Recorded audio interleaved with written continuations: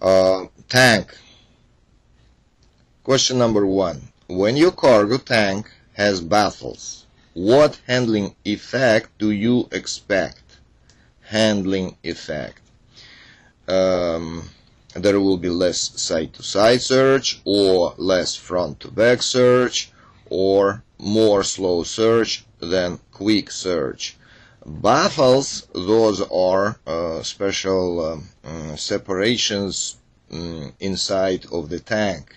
And they separate uh, uh, the tank into different compartments from front to back. And that's why they would uh, uh, and um, and they also have holes inside um, of them uh, but uh, uh, the purpose of baffles is to prevent front to back surge because again baffles they separate the tank into uh, several compartments from front to back and they prevent uh, front to back surge of the fluids of the liquids inside. So the uh, uh, right answer is B they prevent front to back. You just need to know what the baffles are question number two if you are driving a tanker and uh, need to steer quickly to avoid a hazard you what you need to do if you need to steer quickly while driving tanker.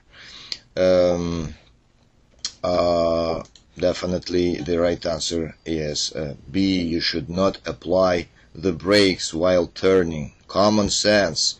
Uh, it applies uh, to the case when you drive uh, any vehicle. If you need to steer quickly, avoid uh, applying brakes while turning. okay. It's uh, mm, again uh, it applies to any uh, vehicle and especially to the uh, tank vehicle. Okay.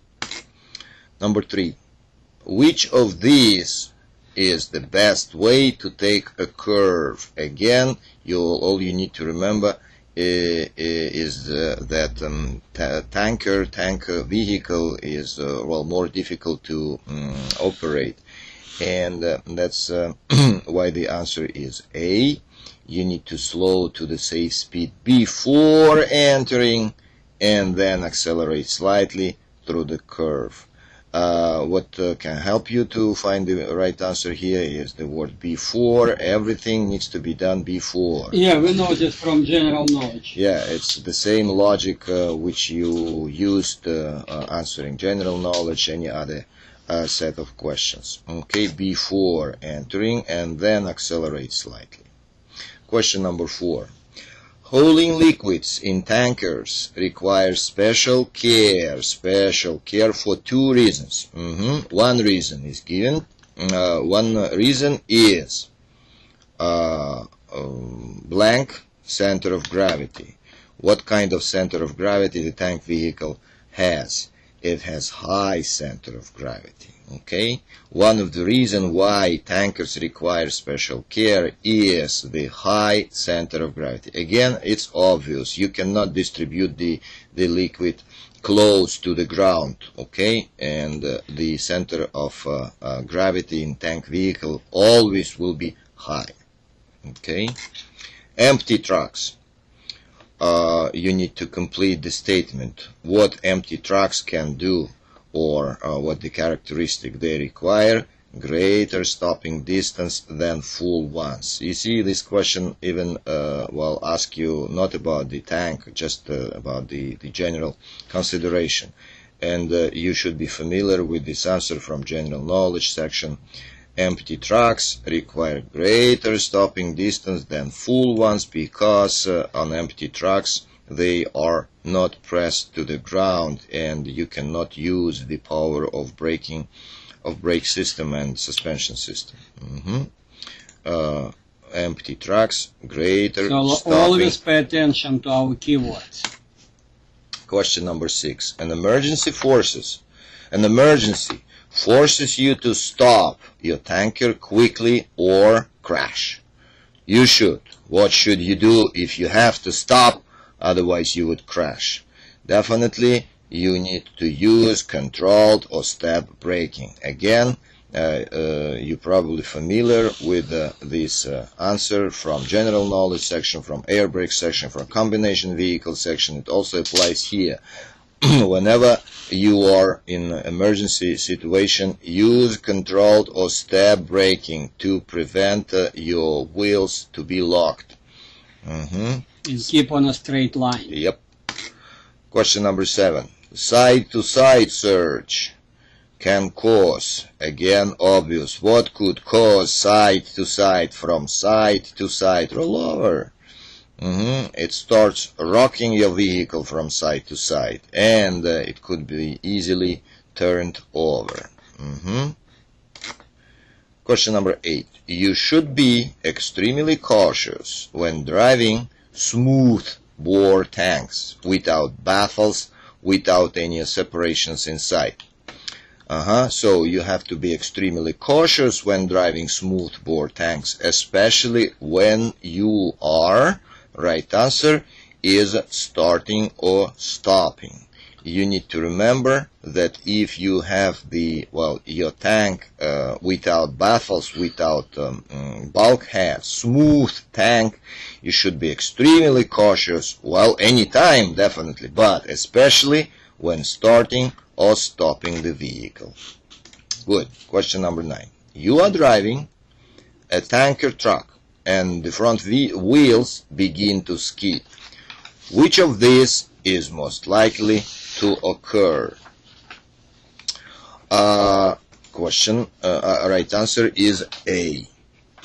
Uh, you will continue in a straight line and keep moving forward no matter how much you steer. Again, uh, this applies to any vehicle and definitely applies to tanker vehicle, to tanker truck. If it starts, if it begins to skid, you will continue in a straight line and keep moving forward. Doesn't matter how much you would steer. Okay? Straight line uh, if it goes into the skid. Question number 10. You are driving on a clear night. You must dim your headlights from high to low. You should adjust your speed so that you can stop within the distance you can see ahead. Again, this question applies to any vehicle.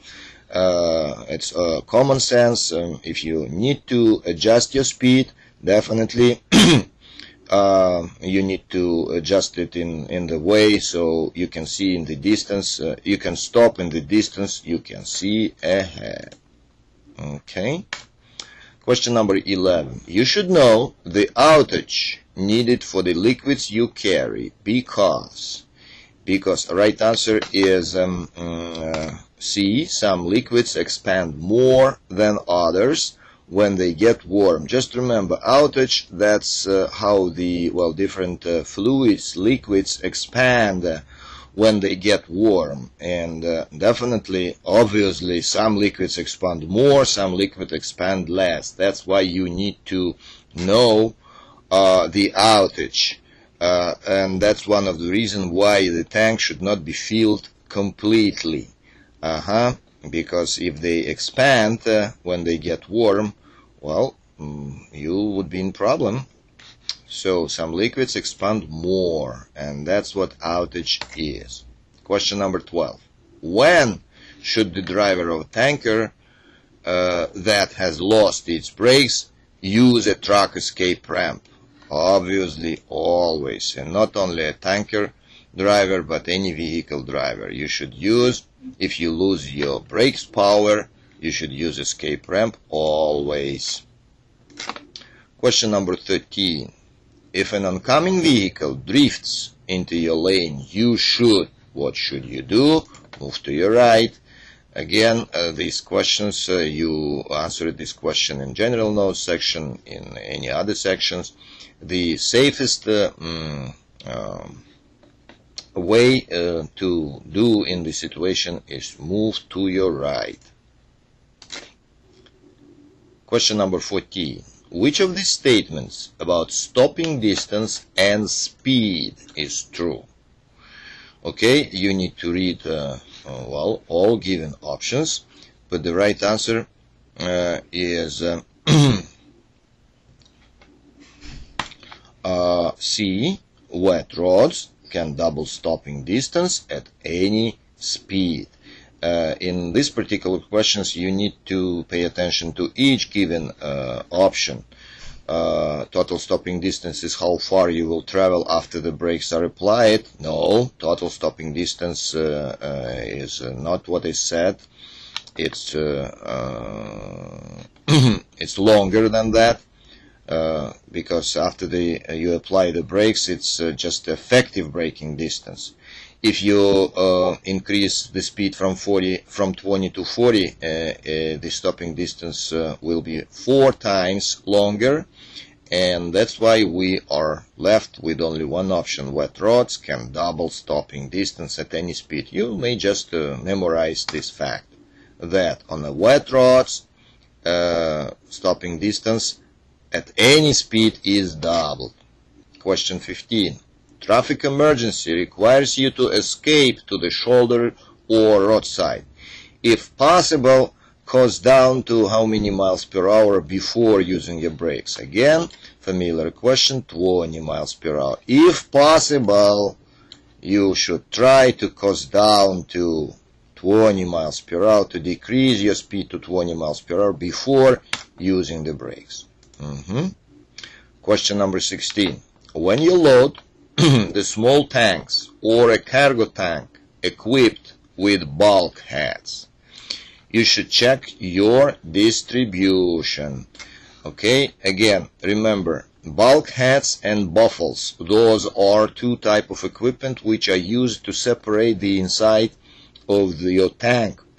baffles, they do have holes and the fluid circulates through them. Bulkheads do not have holes. So with bulkheads, you need to pay particular attention to weight distribution because again, a fluid inside of the tank is prevented to circulate freely.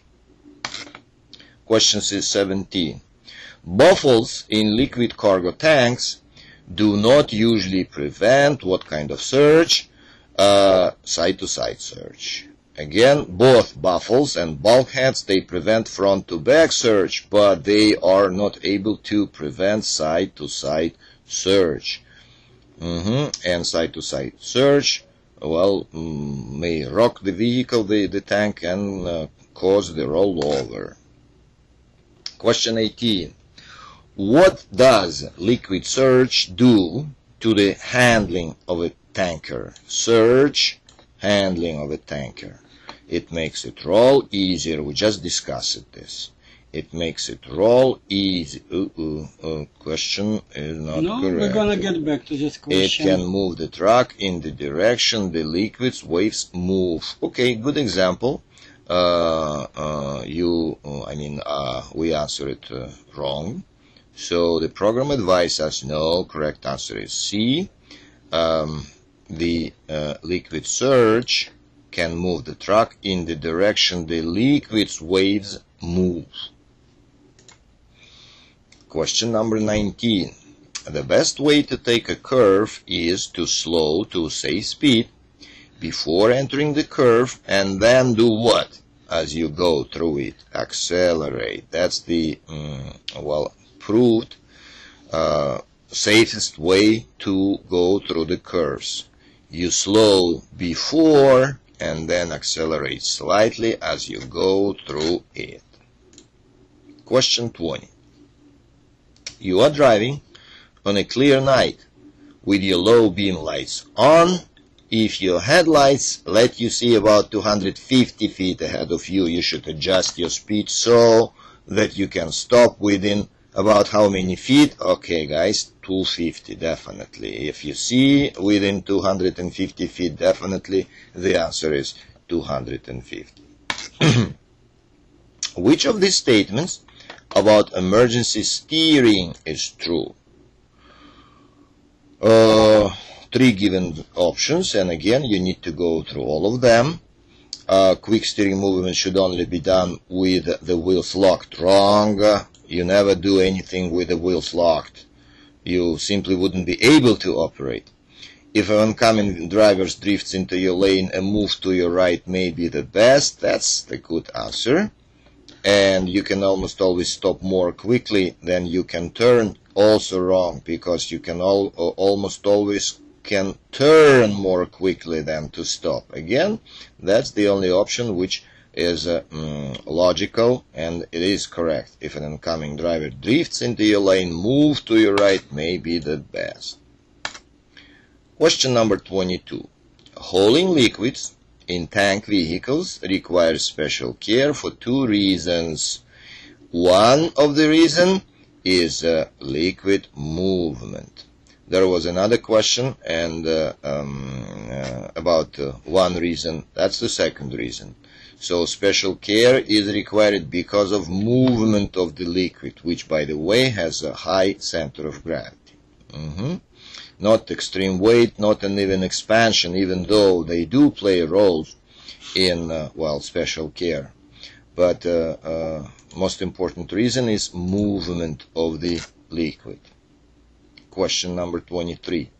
How would you expect a truck with a baffled cargo tank to handle on the road? Again, remind you, baffled that's uh, the tank uh, with uh, well separations inside. And how it is well to handle on the road. There will be less front to back surge than there is in tanks without baffles which makes uh, well your job a little bit easier. It's uh, well handled uh, more uh, confidently. Okay, so baffled cargo tank, there will be less front to back surge than there is in tanks without baffles. Question number 24. Except when you loading or unloading cargo tank, the liquid discharge valve should be always, of course, should be closed. Mm -hmm.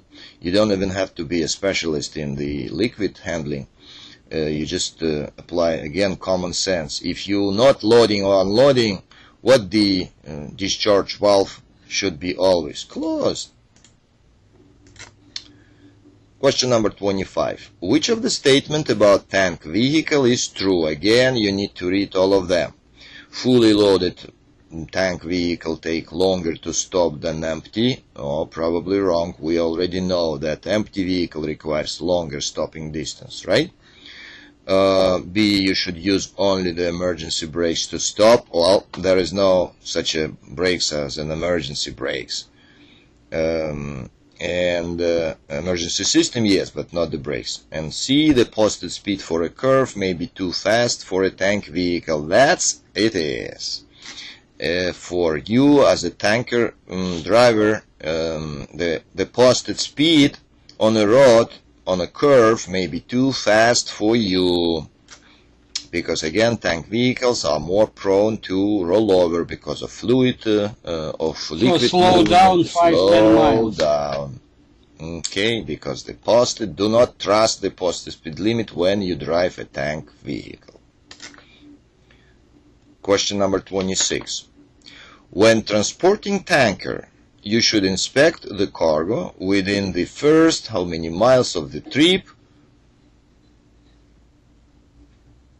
Um, well, good question. You need just to, to know that 50 miles, 50 miles uh, uh, after the beginning of the trip, you should stop and uh, do a walk around inspection and uh, uh, well check um, your vehicle okay after 50 miles. Question number 27 before loading or unloading before the tanker the first thing you should do is the first thing is uh, uh, inspect the vehicle. Before loading or unloading again that's the common sense before doing something, what you need to do to make sure everything is correct, inspect the vehicle. And then secure all the, uh, well, all the parts. Question number 28. When inspecting the pipes, connections, and hoses for leaks, pay special attention to Well, definitely pay special attention to joints. You are expecting connections, via the other word joints, so that's what you need to pay special attention to. Mm -hmm. Synonyms, connections, joints. Question number 29. Portable tanks are. What are portable tanks? Uh, uh, not allow it to carry loads that are more than uh, uh 1,000 gallons. No, the answer is wrong. Uh-huh. Uh, that's a good example of how tricky those questions could be, even they might be, uh, well, uh, seem uh, easy. Portable tanks are called portables because they are attached to the vehicle. And uh, how many gallons uh, is, well, not important. The characteristic of a portable tanks are uh, that they can only be loaded. Mm -hmm. Okay, bulk containers which are not permanently attached. Mm -hmm. That's what you need to pay attention to. So portable tanks uh, are called portable because they are not permanently attached. Okay, we'll, we'll return to this question and talk about it again. Question number 30. Vehicle skids are often caused by, okay, we know that driving too fast. It applies to any type of vehicle, okay, easy. Question number 31. If you steer tank vehicle too quickly while braking, never do that. But if you do, what's gonna happen? Make your vehicle to roll over. Again, it could happen with any type of vehicle, especially dangerous could be with the tank vehicle. If you steer and brakes, wow, make the vehicle to roll over. Question number 32. Which of the statement about emergency steering and tankers is true? Uh, well, again, we need to read all of them. Tanker easier to come to steer than most of the vehicle. Wrong. We already agreed the tanker is more difficult to come to steer. Uh, when making quick steering movement, do not apply the brakes. That could be a case, uh, right answer. Let's read the third one. The clutch should be depressed before making a quick steering movement. No, that doesn't make any sense. So the right answer is B. When making quick steering movement, do not apply to the brakes. Okay, let's see. Good. Do not apply to the brakes when steering. Question number 33 baffled liquid tanks have bulkheads. Uh, you need to complete the statement. So the bulkheads uh, that separate the liquids from different areas of the tanks. Again, you need to remember the principal difference between the baffles and bulkheads. Uh, both of them prevent front to back surge, not side to side but both of them separate uh, um, um the liquid from different areas of the tanks and uh, the difference that baffles they do have holes bulkheads do not so baffled liquids the right answer to this question would be B that separate the liquids from different areas of the tanks again bulkheads they do not have holes